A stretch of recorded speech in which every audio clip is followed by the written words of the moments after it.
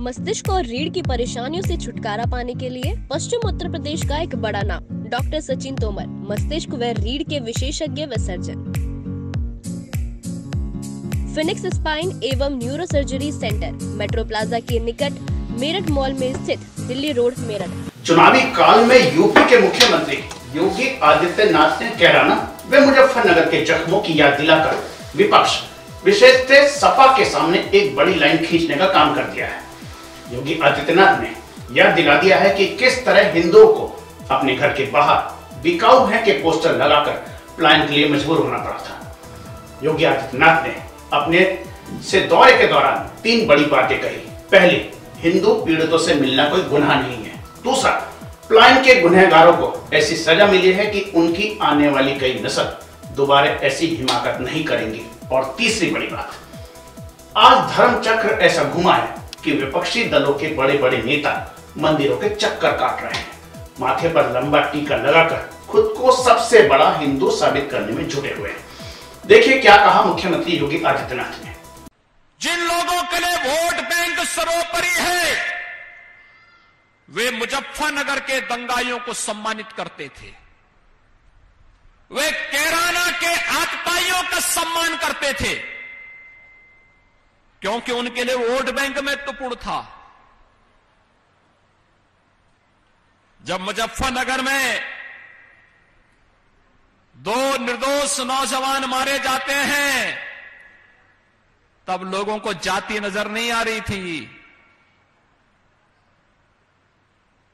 जब वहाँ पर निर्दोष हिंदुओं के घर जलाए जा रहे थे तब ये जातिवाद की राजनीति करने वाले, तब इनको जाति नज़र नहीं आ रही थी। लेकिन भाइयों बहनों, ये धर्म चक्र है। इसी के लिए कहा गया है, धर्म चक्र प्रवर्तनाय की बात इसीलिए कही गई है। ये चक्र तो धर्म का घूमता है।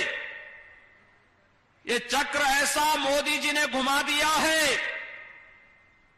जो लोग कल तक मंदिर जाने में संकोच करते थे, आज उनका टीका इतना बड़ा लगता है, तिलक इतना बड़ा लगाते हैं कि जैसे यही सबसे बड़े हिंदू हैं।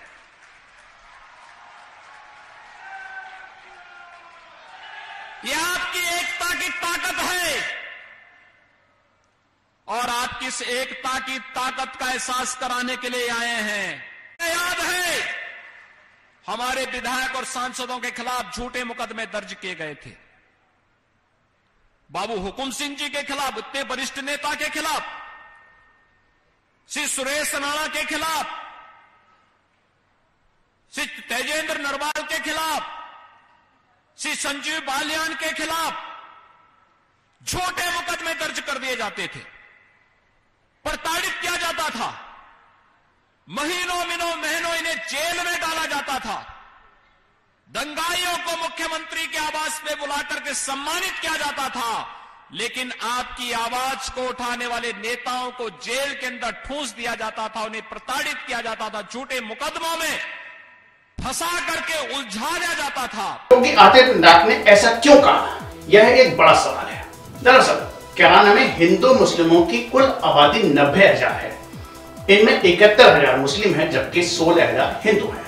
कारोबार का पचास फ़ीसदी हिस्सा हिंदुओं का है। बावजूद इसके आबादी कम होने के कारण एक अनुमान के मुताबिक करीब नब्बे फ़ीसदी हिंदुओं को वहाँ से प्लान करना पड़ा था। इसकी खिलाफत में आवाज़ उठाने पर हुकुम सिंह जैसे कद्दावर नेता संजीव बालिया आदि के खिलाफ मुकदमे दर्ज करा दिए गए थे। योगी आदित्यनाथ ने ऐसे पीड़ित लोगों से भी मुलाकात की जिन्होंने अपने घर कारोबार को छोड़ने का दर्ज झेला है। योगी से मुलाकात के बाद इन लोगों ने संतोष व राहत की सांस ली है। ज़ाहिर है, आने वाले चुनाव में इसका सीधा फ़ायदा भाजपा को मिल सकता है, ऐसे कयास लगाए जा रहे हैं। इस खबर में फ़िलहाल इतना ही। खबरों से रूबरू रहने के लिए देखते रहिए फ़र्स्ट बाइट डॉट और हाँ महत्वपूर्ण खबरों से अपडेट रहने के लिए अपने इस चैनल को सब्सक्राइब करना बेल आइकन दबाना न भूलें। नमस्कार।